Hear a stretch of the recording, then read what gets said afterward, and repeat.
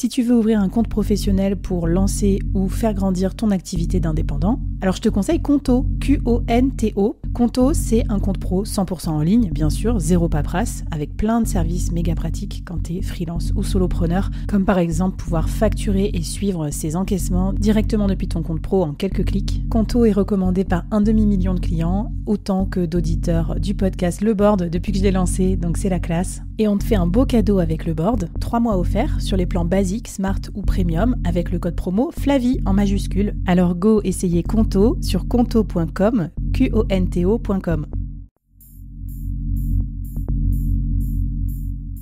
Entreprendre en solo, en toute liberté, sans employé et développer un business rentable, scalable et durable, c'est possible. Je suis Flavie Prévost, ex-dirigeante devenue solopreneur et créatrice du premier incubateur de solopreneurs en France. Avec ce podcast, j'ai voulu créer le board que j'aurais aimé avoir à mes côtés quand je me suis lancée en solo. Un board composé des meilleurs experts, disponible chaque semaine gratuitement à mon micro pour te donner des super conseils et te mettre au défi. L'épisode va commencer je te préviens, ça va vite. Alors n'oublie pas de t'abonner à la newsletter pour recevoir les bonus.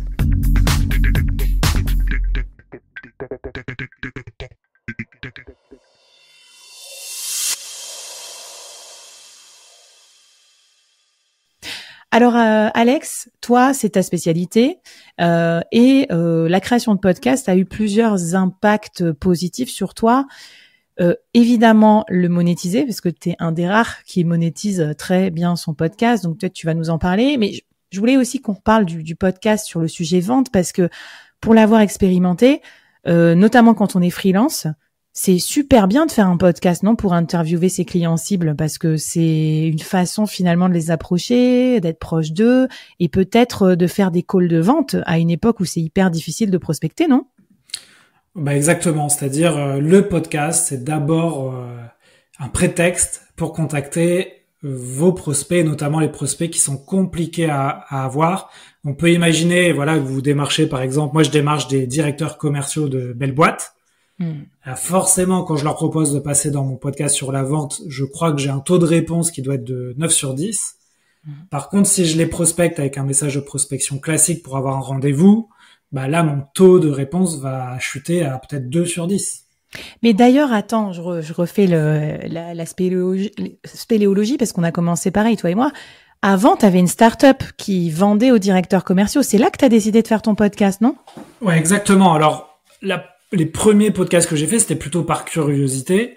Ok. Mais j'avais quand même ma petite idée derrière la tête de me dire, ça va me permettre euh, de partager mon expertise, faire de la com. Et très vite, au bout de quelques épisodes, je me suis rendu compte qu'en fait, les invités que je pouvais avoir dans mon podcast, ça pouvait être les premiers clients de ma startup. Trop bien. Et c'est ce que moi j'avais à peu près passé quoi. J'avais commencé comme ça aussi. Je m'étais dit, euh, je créais une start-up à l'époque euh, sur des commerciaux euh, freelance fractionnalisés. Et je m'étais dit, bah tiens, créer un podcast, ça sera une bonne façon d'inviter euh, mes prospects et de pouvoir de pouvoir leur parler. Ok, alors comment ça a évolué entre temps Parce que finalement, donc d'abord, tu peux utiliser si tu es freelance le fait de rencontrer tes clients cibles, mais qu'est-ce que ça peut permettre aussi le podcast? Est-ce que ça a d'autres avantages pour monétiser? Alors au-delà de montrer que vous avez une expertise, en fait, il y a, y a, un phénomène euh, qui est assez intéressant dans les neurosciences, c'est que la personne qui interviewe est considérée par les auditeurs comme euh, experte, voire plus experte que la personne interviewée.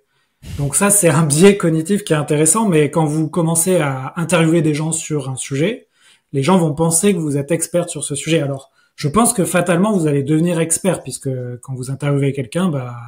Vous, oui, t'apprends à moins de rien écouter. J'avoue. Mais moi, j'ai commencé complètement newbie il y a quatre ans parce que j'étais pas moi-même freelance, parce que je voulais apprendre à être freelance. Et j'avoue que quatre ans plus tard, toutes les semaines, à raison d'un freelance ou solopreneur par semaine qui me donne ses tips, bah forcément, euh, j'ai énormément appris. Mais j'aime bien l'idée, en tout cas, qu'on profite de ces invités de qualité pour avoir l'air d'être plus expert que. Merci à vous. Merci à vous toutes et tous. C'est ça, bah, c'est des mini masterclass euh, dont vous allez pouvoir profiter. Et puis après, une fois que vous allez euh, être régulier, parce qu'en fait, la, la, la, chose la plus difficile sur un podcast, c'est de tenir dans le temps. Mm. Mais une fois que vous allez passer cette barrière euh, de, de faire des épisodes régulièrement, bah, vous pourrez très vite aller chercher un ou plusieurs sponsors. Et ça, faut pas se mettre de barrière limitante. Moi, j'ai attendu 80 épisodes et deux ans avant d'aller chercher mes premiers sponsors. Et en fait, je me suis rendu compte que, bah oui, ça avait du sens pour des entreprises de communiquer à travers mon podcast pour toucher une, une cible très précise de dirigeants commerciaux.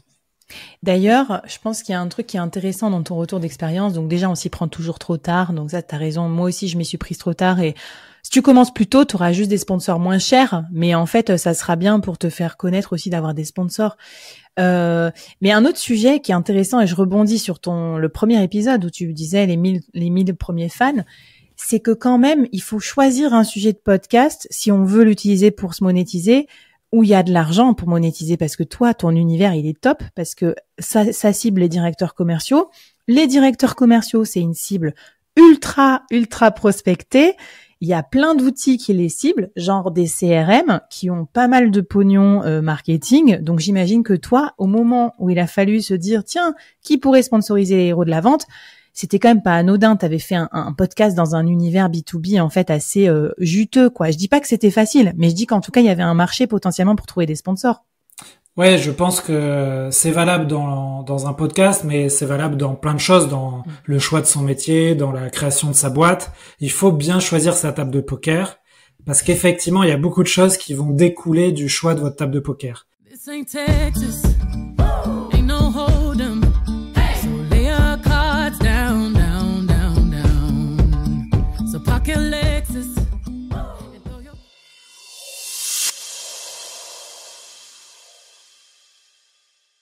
Alors, euh, vous pouvez aller sur un podcast, par exemple, euh, je sais pas, j'essaie de trouver des exemples, mais euh, de développement personnel, pourquoi pas. Il y a beaucoup de concurrence, et alors les boîtes qui qui, qui, peuvent sponsoriser des podcasts de développement personnel, c'est peut-être un peu moins facile à trouver que simplement des boîtes. Ouais. Et déjà, c'est du B2C au lieu d'être du B2B. Donc forcément, si le panier moyen, c'est une formation à 100 balles euh, ou un livre à 20 euros, alors que euh, toi, un CRM, la mise en place d'un CRM dans une grosse boîte, j'imagine même pas les montants, mais c'est plusieurs dizaines de milliers d'euros. Euh, c'est clair. Mais c'est intéressant ce que tu dis, parce que choisir sa table de poker, c'est la choisir quand on est freelance, c'est se dire pour qui on va prester, dans quelle verticale, dans quel type d'entreprise. Il y a trop de freelances qui ont des super compétences, mais qui malheureusement prestent pour des clients trop petits qui ont pas trop de profondeur de portefeuille et qui du coup euh, se retrouvent à avoir des tout petits TJM alors que ça se trouve euh, les entreprises juste à côté d'une taille plus grosse elles prendraient les mêmes services pour beaucoup plus cher. Ouais, et je pense que du coup on revient au premier épisode. Le choix de sa table de poker, ça va dépendre aussi de quel euh, monopole personnel vous allez pouvoir construire. Parce que Bon, moi, je suis allé dans le podcast sur la vente, mais j'ai été commercial. J'avais une start-up pour les pour développer des logiciels pour les commerciaux. Ça avait du sens. C'est vrai que, tu vois, aujourd'hui, je me pose la question de faire un podcast sur un autre sujet, par exemple un sujet sur la, la santé, la prévention en santé. Bah, je suis quand même moins, je me sens moins à l'aise parce que j'ai pas du tout de background sur ces thèmes-là. Ouais. Donc, ok. Euh, Donc oui, du coup, utiliser bien sûr son expertise euh, pour choisir euh, son sujet de podcast. Ok, bah intéressant. Mais en tout cas, moi, ce que j'aime bien aussi dans ce que tu approches, c'est qu'on peut avoir le beurre et l'argent du beurre. On peut Décider de lancer un podcast pour approcher plus facilement ses clients cibles. Par exemple, si on est coach ou je sais pas quoi, c'est quand même beaucoup plus simple de rencontrer ses, prospects comme ça. Et ensuite, décider, même si ça nous rapporte déjà des clients, de trouver aussi un sponsor pour se faire un, peu de diversification par-dessus. Et moi, je pense que tu as raison. Il y a plein de podcasteurs dans ma communauté qui ont des podcasts hyper niches et euh, en fait euh, qui intéressent des logiciels et tout ça. Donc euh, j'ai vraiment envie moi qu'ils aillent chercher des sponsors. Alors Qu'est-ce que tu conseilles toi comme euh, outils, défis Enfin, qu'est-ce que tu nous conseillerais de faire sur cette partie monétisation de podcast? Euh, bah alors j'ai pas mal de choses pour les auditeurs. juste avant de donner les outils, il y a un troisième et je pense un quatrième niveau dans le monde du podcast pour monétiser son podcast. Le troisième niveau, c'est de commencer à faire payer des invités. Parce qu'en fait, vous les mettez en valeur, vous allez créer beaucoup de contenu autour de leur interview. Et, euh, et, et, moi, depuis janvier, je fais payer mes invités et je vois qu'il n'y a pas de friction. C'est-à-dire, OK, il y a des invités qui vont dire non, non, je, je paye rien du tout.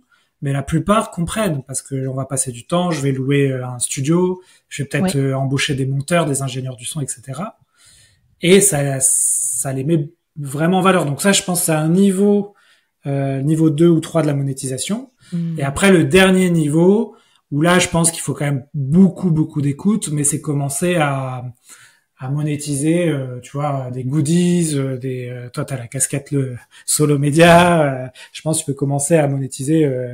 Bah, ce qu'on disait dans le premier épisode, les 1000 fans qui te suivent seront ok pour t'acheter les t-shirts. Ouais, acheter des produits en général qui sont peut-être pas physiques, d'ailleurs, qui sont peut-être digitaux.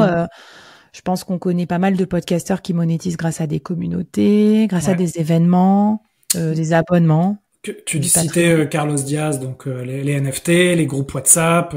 Mm les, formations pour d'autres euh, podcasteurs. Donc voilà, il y a d'autres niveaux de monétisation. Ouais, carrément. Ok, bah écoute, sur ça, euh, je vous renvoie aux autres épisodes qu'on a fait là-dessus parce que c'est vrai que le, côté média, c'est mon dada. Puis venez nous voir aussi dans la communauté, posez vos questions à Alex aussi, il vous dira. Et c'est vrai que toi, ta, structure de monétisation, c'est essentiellement euh, invité payant plus sponsoring. D'ailleurs, tu nous glisses aussi ton dossier de sponsor dans la newsletter. Je vais vous mettre parce que c'est chouette d'avoir un exemple. Donc merci beaucoup de partager parce que c'est bien d'avoir les compas dans l'œil, euh, le, prix, tout ça, pour savoir comment on monétise, parce qu'entre le coût par mille, le, taux de clic et machin, on ne sait pas toujours. Donc, euh, bah, hyper cool d'avoir du benchmark de potes solopreneurs qui nous aident à, monétiser notre podcast. Trop bien. Qu'est-ce qu'on fait pour se mettre le pied à l'étrier sur cette partie? Alors, euh, donc je vous partage effectivement le dossier de sponsoring pour vous donner des idées, des idées pour sponsoriser votre podcast. Et pour cette deuxième partie, bah, je vous conseille de, de, créer votre propre dossier de sponsoring à partir de, de celui-là. Hmm. Et pourquoi pas créer un premier épisode euh, de podcast, euh, tout simplement avec euh, un outil comme Zencaster ou Riverside, et un outil comme Ocha pour le publier. comme ça, vous avez votre épisode zéro, vous avez votre dossier de sponsoring. ça peut être intéressant d'aller chercher des sponsors avant de lancer une émission de podcast ouais, c'est ce que j'avais fait pour mon podcast Web 3 d'ailleurs. Ok. Mm. Ça, c'est, je pense, moi, les prochains podcasts que je vais lancer, je les lancerai pas tant que j'ai pas de sponsor. Je pense que c'est une bonne pratique euh, qu'on peut appliquer. Ça, c'est la, c'est le sang du solopreneur qui coule dans tes veines, là, Alex. C'est bon. C'est d'abord, je, je trouve des sponsors ou des clients et après seulement, je lance mon média ou mon produit. ouais, exactement. On applique un peu le lean startup euh, au monde du podcast. Et donc, voilà, le premier exercice, euh, vous allez créer votre dossier de votre kit média et votre premier épisode de podcast. Comme ça, vous allez voir déjà si euh, vous, vous êtes capable de créer un épisode si ça vous plaît. Et ensuite, euh, une fois que vous avez validé ce côté un peu technique, bah, vous allez envoyer ce kit média à de potentiels sponsors et commencer à, à, pitcher votre projet. Et je suis certain que si c'est bien, bien travaillé, bien pensé, vous allez pouvoir trouver vos premiers sponsors. Trop bien, bah, venez nous pitcher aussi vos dossiers de sponsor euh, si vous les avez ou quand ils seront prêts dans la communauté. Et puisqu'on parle de sponsor, il euh, n'y a pas que le podcast qu'on peut monétiser, il y a aussi un sujet clé pour les freelances et les solopreneurs, c'est la newsletter. T'en as une aussi, t'as testé plein de choses là-dessus, moi aussi, donc on va en parler dans l'épisode 3. Comment monétiser euh, grâce à sa newsletter C'est parti